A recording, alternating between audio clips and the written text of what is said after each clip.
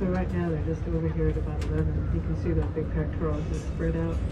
And the other one's just coming up on the right here. There we go. Again, they're just hanging out together. And these